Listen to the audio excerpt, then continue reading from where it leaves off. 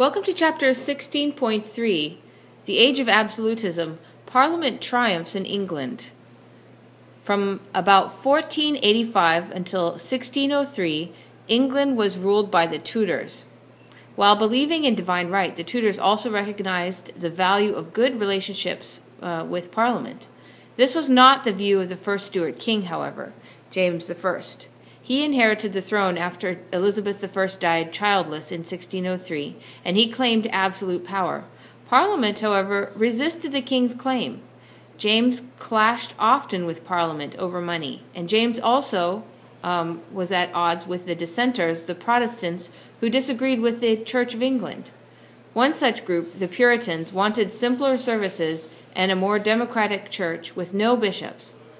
In 1625, Charles I inherited the throne. He too behaved like an absolute monarch. Tensions between Charles and Parliament escalated into a civil war, and the English Civil War lasted from 1642 until 1651. Supporters of Charles were also called Cavaliers. The supporters of the Parliament were known as Roundheads. Oliver Cromwell was the leader of the parliamentary forces, guiding them to victory. In January of 1649, Charles I was beheaded. The House of Commons abolished monarchy and declared England a republic under Cromwell, called the Commonwealth. Many new laws reflected Puritan beliefs. Cromwell did not tolerate open worship for Catholics. However, he did respect the beliefs of other Protestants and he welcomed Jews back into England. And eventually, the people just got tired of the strict uh, Puritan ways. Cromwell died in 1658, and two years later, Parliament invited Charles II to return to England as king. Charles II's successor, James II, was forced from the English throne in 1688, and the Protestants feared that he planned to restore the Roman Catholic Church to power in England. Parliament offered the crown to James's Protestant daughter Mary and her husband William. However, William and Mary had to accept the English Bill of Rights, and this helped to establish a limited monarchy. This bloodless overthrow of James II was also known as the Glorious Revolution. During the next century, Britain's government became the constitutional government, whose powers were defined and limited by law. A cabinet, or a group of parliamentary advisers who set policies, developed. In essence, British government was now an oligarchy, or a government that was run by a few powerful men. England took a different path than France did in the 1600s. Though English rulers attempted to increase their authority, Parliament began to expand its own influence. The Tudor dynasty was relatively new to the monarchy. They had um, Henry VIII was only the second generation. Um, his father had inherited the throne, or rather, had been given the throne when he and his wife had married to solidify a, a union of two houses that had been fighting over the throne of England, called the War of the Roses.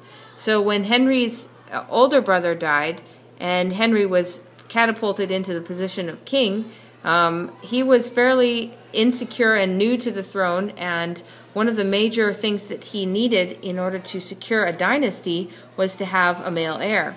And he hoped to have that with his first wife, Catherine of Aragon, who was the, the granddaughter of uh, Isabella and Ferdinand in Spain. After almost 20 years of marriage, uh, it became clear that uh, Catherine of Aragon would not be having any sons. Uh, she, they did have one daughter who was named Mary, uh, but eventually it became clear that Henry, if he was going to have any male son heirs, he needed to figure out a way to get out of the marriage.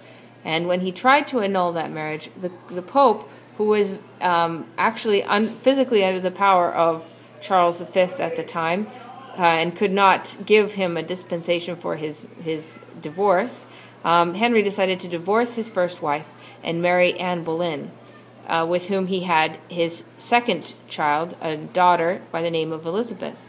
Um, eventually, as the story goes, Elizabeth uh, inherits the throne from her older sister and her younger brother. Um, and eventually, these these different Tudor monarchs were though they tried to be all powerful, had to work with Parliament in order to um, maintain their power. Both had, had to seek the approval of Parliament uh, if they wanted to stay in control, and as a result, Parliament became accustomed to being in control. In fact, Elizabeth's skills at handling Parliament helped her to be a very popular ruler who came to be, and she came to be known as Good Queen Bess. She often used her um, feminine wiles to try to get her way. Harmony between the monarch and the parliament, however, ended when Elizabeth I died. Elizabeth I died childless, and the throne went to James Stuart, who, had, who was King of Scotland. Um, his mother was Mary, Queen of Scots, um, and she had been under house arrest for many years when she finally died. Uh, and the throne passed to James I, who had been raised by uh, his Calvinist tutor, uh, John Knox. And when James I came to the, uh, the, throne in England, he threw off all of those um, uh, religious barriers, and he was known for being a, quite a party uh, party person. He clashed a lot with Parliament, though, because he liked to spend money, and but he needed to go to Parliament in order to get more money. So, um, through though he promised to rule England uh, with English customs, he tried to assert the dominant belief of the age, which was that uh, that of divine right. James was finally forced to call a parliament when he was absolutely um, destitute and needed money. However, when Parliament wanted to discuss foreign policy or other things besides money um, before they voted on the funds, he got mad and he dissolved the parliament and he uh, collected the taxes with his own strength, which was actually very uh, damaging to his uh, reputation in England. James, his uh, James also clashed with a group called the Dissenters, and they were um, a religious group that believed that the Church of England was far too Catholic and needed to pu- be purified. Thus, we get the name Puritans. James I's son, Charles I, inherited the throne in 1625, and like his father, he also tried to behave as an absolute monarch. He, dis- he dissolved the parliament in 1629. However, Charles had to summon the parliament again in 1640 because he needed funds again, like his father. The Scottish were un, under in a rebellion, and he needed to raise troops. When it met, though, Parliament launched its own revolt against the king. Parliament uh, tried to lead a, an English civil war, and when Charles tried to arrest the radical members of Parliament, they escaped by, and raised an army of their own. The English Civil War lasted from 1642 until 1651. On one side were the supporters of Charles I. They were called the Cavaliers, and they were often from wealthy, noble families. On the other side, they were supporters of the Parliament, and they called themselves Roundheads, or rather, probably they were nicknamed Roundheads because of their um, bowl haircuts. Um, but they were country gentry or town dwelling manufacturers and Puritan clergymen.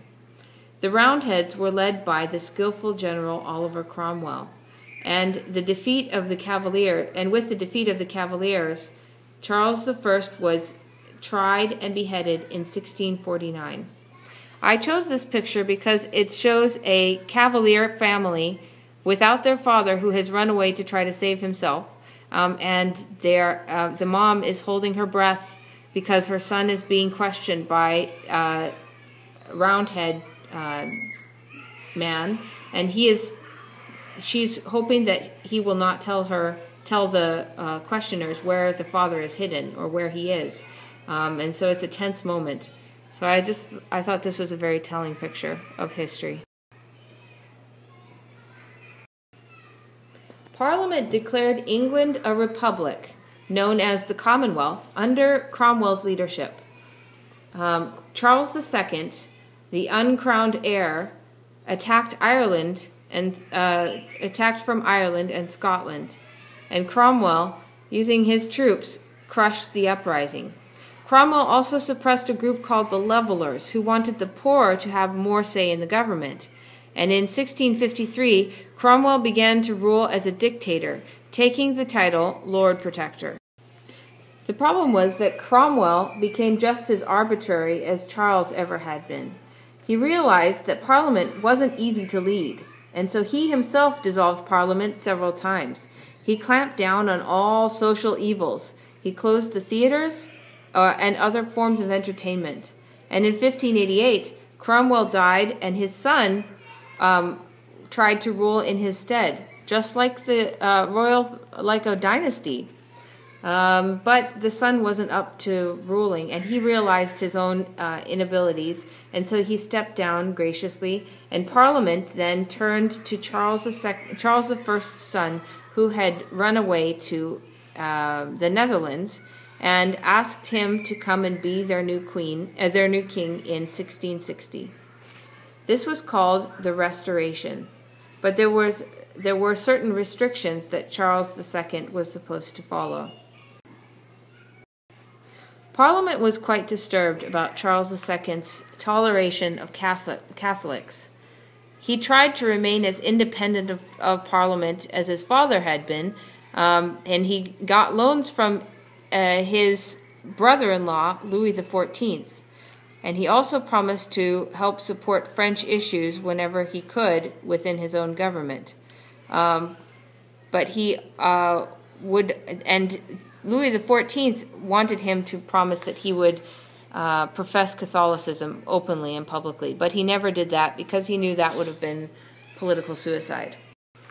But the people were definitely happy when Charles reopened the theater um, and he passed the Habeas Corpus Act, which made it illegal for the government to arbitrarily hold anyone without officially charging them of a crime first.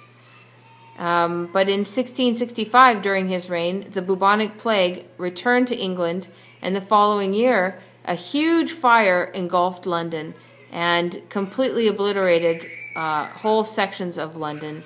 And it's interesting, though, that, that after that terrible fiasco, the plague never broke out in England again, or at least not in London. Charles supported public reconstruction projects, and he died in 1685 without any legitimate children.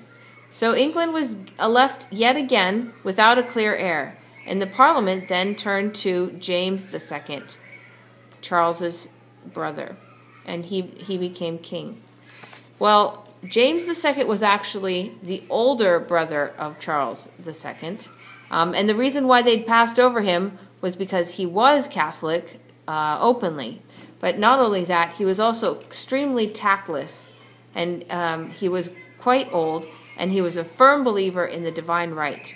Um, and Parliament tolerated him because he had two children who were Protestant, two girls, and this is why he was a valuable asset to the Parliament.